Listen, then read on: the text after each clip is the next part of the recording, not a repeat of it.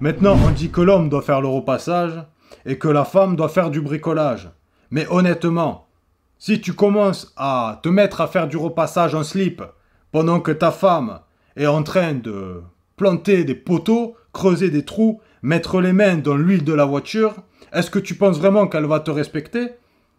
Tu vois, elle va rentrer dans la maison avec ses mains pleines d'huile, son marteau, ses poteaux qu'elle vient de planter, et va te regarder là, va te regarder là dans le coin de la maison en train de faire du repassage avec ton petit slip. Salut mon poteau, j'espère que tu vas bien. Moi ça va, comme toujours ça va parler vrai et tu le sais.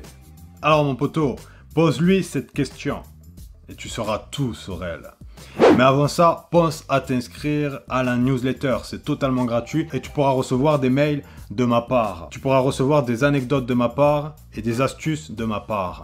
Le lien se trouve dans la description et dans l'espace commentaire. Pense aussi à rejoindre le Patreon pour du contenu exclusif que tu ne retrouveras jamais sur la chaîne. Je t'affiche à l'écran plusieurs contenus qui sont disponibles dessus. Le lien se trouve également dans la description et dans l'espace commentaire. Et nous allons passer immédiatement dans le vif du sujet avec cette fameuse question que tu vas pouvoir lui poser. Donc tu vas poser cette question et tu vas regarder sa réaction. Et sa réaction t'en dira énormément sur elle. Oui mon poteau, donc cette fameuse question c'est qu'est-ce que tu apportes concrètement? Qu'est-ce que tu apportes concrètement à un homme? Oui, parce que beaucoup de femmes pensent que juste leur présence et leur physique est suffisant. Mais non, pour un homme de valeur, pour un alpha, ce n'est absolument pas suffisant. Alors bien sûr, des gros et un bon cul bombé, c'est le top du top, on adore ça. Mais malheureusement, c'est pas suffisant. Il en faut plus. Il va falloir apporter plus que ça. Donc, qu'est-ce que tu apportes concrètement? Et là, on ne parle pas de physique. Hein. Donc, qu'est-ce que tu apportes concrètement? Et vous attendez, vous observez, vous regardez sa réaction, vous regardez ce qu'elle vous répond. Si elle commence à faire la femme outrée, choquée, on ne m'a jamais posé cette question, comment tu oses me poser cette question? J'ai jamais vu ça, c'est incroyable, blablabli, blablablou, blablablou. Si elle réagit comme ça, mon pote, c'est très très mauvais signe. Tu n'as rien à faire avec ce genre de femme. Elle ne connaît pas sa place.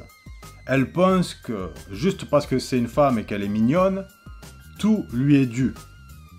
Oui mon poteau, tu ne devrais pas dealer avec ce genre de femme, en aucun cas. Et il y a de plus en plus de femmes comme ça, qui se prennent pour des déesses, qui ont perdu les pieds sur terre, qui ne connaissent pas leur place. Avec ce genre de femme, mon pote, il n'y a rien à faire.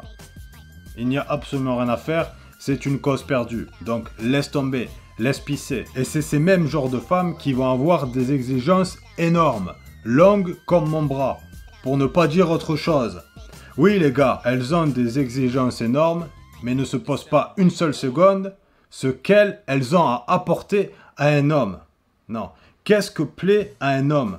Qu'est-ce qu'un homme de haute valeur attend d'une femme? Et si tu réfléchis, ça n'a pas de sens. Mais ça s'explique facilement. Elle a l'impression d'avoir tellement d'abondance qu'elle n'a pas besoin de travailler, de faire d'efforts ou de se poser ce genre de questions.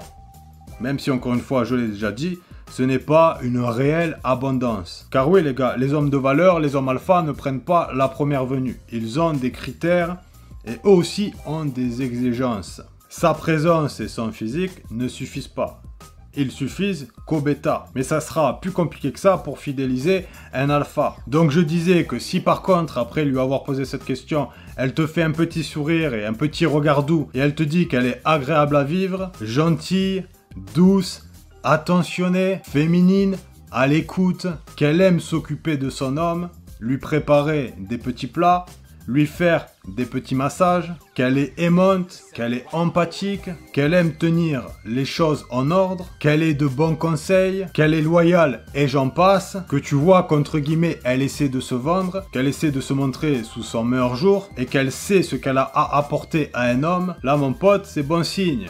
Alors bien sûr ça ne veut pas dire que elle ne t'a pas joué de la flûte, hein. absolument pas, ça tu le verras en la côtoyant. Mais c'est largement mieux que la première réaction. Et c'est ce genre de femme que tu devrais côtoyer. Et c'est avec ce genre de femme que tu devrais envisager une relation. Même si on ne se met pas en relation du jour au lendemain. qu'on met la femme en phase d'observation.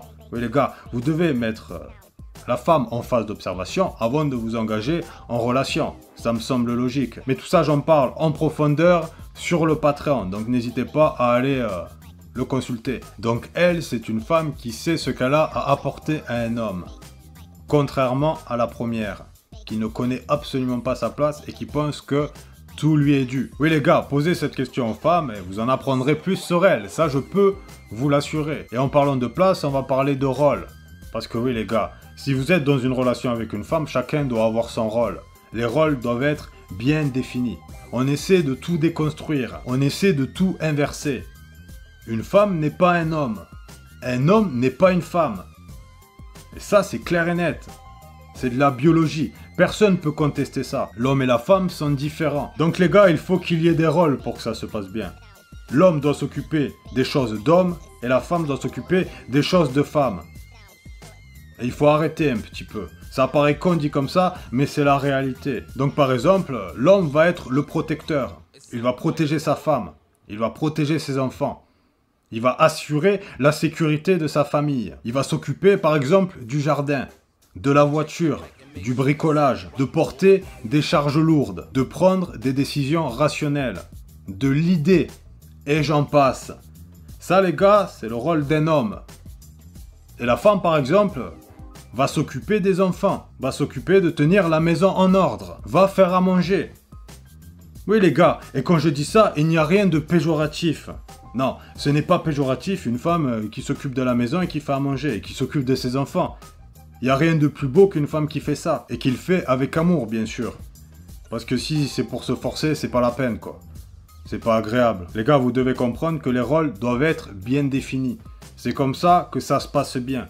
C'est comme ça qu'il y a un cadre. Maintenant, on dit que l'homme doit faire le repassage et que la femme doit faire du bricolage. Mais honnêtement, si tu commences à te mettre à faire du repassage en slip pendant que ta femme est en train de planter des poteaux, creuser des trous, mettre les mains dans l'huile de la voiture, est-ce que tu penses vraiment qu'elle va te respecter? Tu vois, elle va rentrer dans la maison avec ses mains pleines d'huile, son marteau, ses poteaux qu'elle vient de planter, et va te regarder là, va te regarder là dans le coin de la maison en train de faire du repassage avec ton petit slip. Non, elle va se foutre de ta gueule intérieurement et elle ne va pas te respecter. Les gars, je vais vous poser une question. Est-ce que dans un bateau, il y a deux capitaines? Absolument pas. S'il y avait deux capitaines, le bateau commencerait à couler. Ben, c'est exactement pareil pour les relations. Il ne peut pas y avoir deux capitaines. Et euh, le rôle de l'homme, c'est de l'idée. Oui, c'est de l'idée. Depuis que je suis petit, en fait, je constate que dans les relations de manière générale, c'est très très souvent la femme qui porte le pantalon. Très très souvent. Et ça s'explique par tout un tas de raisons euh, que j'ai déjà évoquées à plusieurs reprises euh, sur la chaîne. Et surtout les gars, pensez à vous abonner à la newsletter, c'est totalement gratuit. Vous recevrez mes mails, mes astuces, mes anecdotes. Vous serez plus proche de moi. Le lien se trouve dans la description et dans l'espace commentaire.